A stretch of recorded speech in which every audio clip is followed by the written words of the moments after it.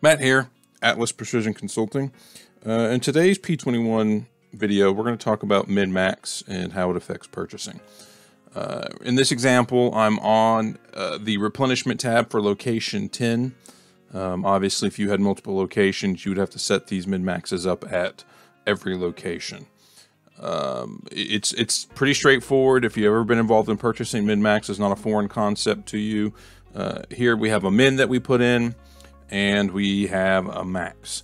If we fall below that min, I want you to order up to the max. That's essentially all we're, we're saying. A couple things to keep in mind with min maxes.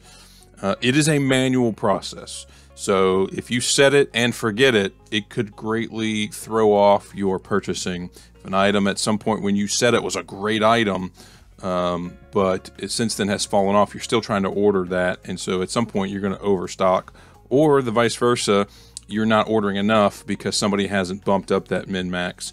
Again, by default, it's a manual process.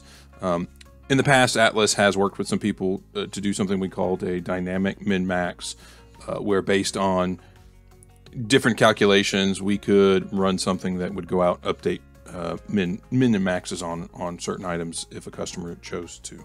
But we're talking about base functionality here. Uh, though if you want to talk about customizations, uh, Atlas uh, is here to help with that too.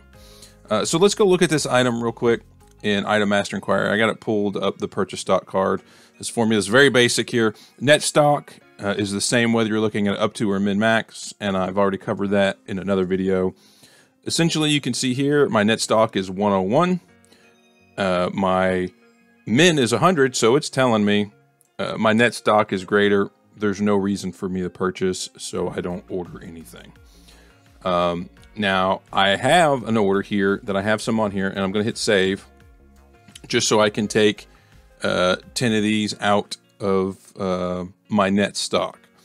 Uh, so when I come back over here after this saves, I'm gonna come over here, I'm gonna refresh my data. And if you don't know how to do that, go back to the tab, right click, refresh.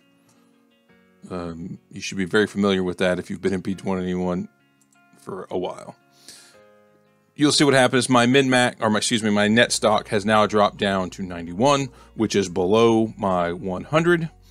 Um, so it is telling me I need to purchase. So it's taking the difference between um, my max, what I have as a net stock, and telling me that's the quantity I need to order. Uh, obviously, if you had a special unit uh, of measure that you purchased in, it would do a calculation down here to figure that out. So again, min-max is pretty simple. Uh, if you've been involved in purchasing ever, you, are probably familiar with it, but I just wanted to show you how simple it is to, to look. But, you know, there are a couple reasons why you would maybe still want to do min-max. For your items that are sporadic, uh, definitely new items because up to does not work with new items very well unless you have about a 12 month at least history on them.